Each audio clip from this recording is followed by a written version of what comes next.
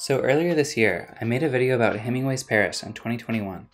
A lot of people really enjoyed it, so I decided to make a follow-up video, where I revisit a few key places and also visit some new ones. As a recap, France was under curfew from November 2020 to June 2021. There was a third lockdown in April, which is when I filmed the first video. I attempted to follow in Hemingway's footsteps, to see what had changed in the past hundred years. While it was easier to imagine Hemingway's Paris without the distractions of tourists and modern day Parisians, it was also sad to see that place so lifeless. So, what is Paris like now? In this episode of Kokusai Analysis, we're going to explore Hemingway and a reopened Paris. We'll focus more on the later periods of his life and what he did as a wealthy, famous writer.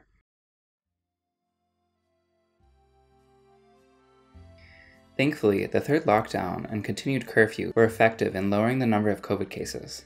By June of this year, cafes and restaurants opened up again to patrons, first to outdoor customers and eventually to indoor dining. In mid July, I visited Saint Germain des Prés, and I'm happy to report that patrons of both Les Deux Magots and Le Café de Flore have returned. I thought it was lovely to see the transformation from ghost town to bustling city between April and July. Unfortunately, COVID cases are starting to rise again. Starting in August 2021, proof of vaccination or a negative COVID test are required to visit cafes and restaurants. Anyway, now that you have this context, let's escape into the world of Hemingway's Paris.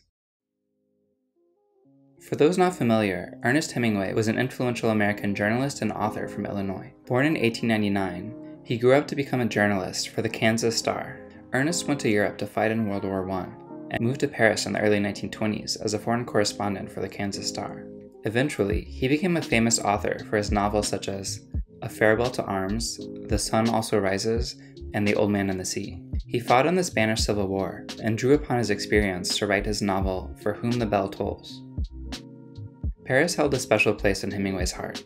As he said in his own words, Paris, the town best organized for a writer to write in that there is.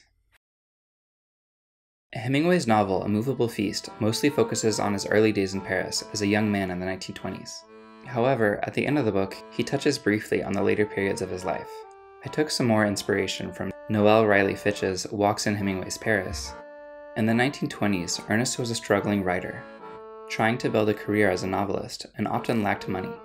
He only occasionally ventured to the right bank in the 1920s, really only when he had a little money to spend. While the majority of Hemingway's stay in Paris was in the 1920s, he returned to Paris several times in the following years. I ventured to the Rive Droite, or right bank, to see another side of Hemingway's Paris. Hemingway came to Paris immediately after the city was liberated in World War II.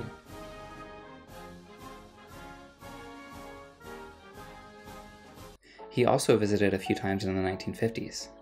Since he now could afford it, Hemingway stayed on the right bank in later visits. During these trips, Hemingway was often found at the bar of the Hotel Ritz. Located in the Place Vendôme, this illustrious hotel has welcomed celebrities, royalty, and other wealthy clientele since 1898. In A Moveable Feast, Hemingway notes that he visited the bar with several American soldiers during the liberation. Later on, Hemingway recounts how in the 1950s, the Ritz's bartender asked him about F. Scott Fitzgerald. So many people had asked about him, but the bartender had no recollection. Hemingway also featured the hotel in his novel The Sun Also Rises. Today, the hotel has named one of their bars in honor of Hemingway. If you aren't too budget conscious, it's a lovely experience to dress up and enjoy one of the hotel's excellent but pricey cocktails. As Hemingway struggled with alcoholism, perhaps it's no surprise that he often visited bars. Later, I headed to Harry's New York Bar, which Hemingway visited alongside F. Scott Fitzgerald. While the name may strike you as an odd choice to visit on a trip to Paris, it's actually the first cocktail bar in Paris. Started during the era of Prohibition in the United States, it originally catered to an expatriate American clientele. Today, Harry's New York Bar has over 500 drinks on its menu. Hemingway won the Nobel Prize for Literature in 1954 and became widely successful even during his lifetime. Despite this professional success, Hemingway had a tumultuous love life, with four marriages, and also struggled with alcoholism and mental health issues. A Moveable Feast was his last book, which was completed posthumously by his widow Mary. Finally, on July 2, 1961, Ernest Hemingway committed suicide at the age of 61 years old. He left a legacy of his literature. While he didn't write a memoir of his entire life, A Moveable Feast captures his life living in Paris as a young man.